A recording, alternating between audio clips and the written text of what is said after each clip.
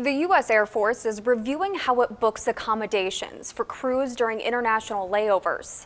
The order from the military branch's leadership came after reports said an Air Force C 17 crew stayed at one of President Donald Trump's resorts in Scotland during a refueling stop on its way to Kuwait in March. That trip to the Trump Turnberry Resort is part of a House Oversight and Reform Committee investigation into military spending both at and around the property.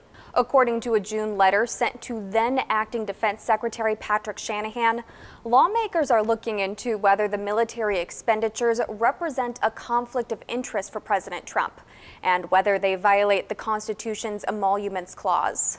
But a senior Democratic aide recently told CNN the Pentagon has yet to comply with the committee's request for documents. Over the weekend, Air Force spokesman Brigadier General Ed Thomas described the C 17 crew's stop at Trump Turnberry as not unusual. Thomas said a government contractor chose the Trump resort over a nearby Marriott for the seven person crew because it had a cheaper rate.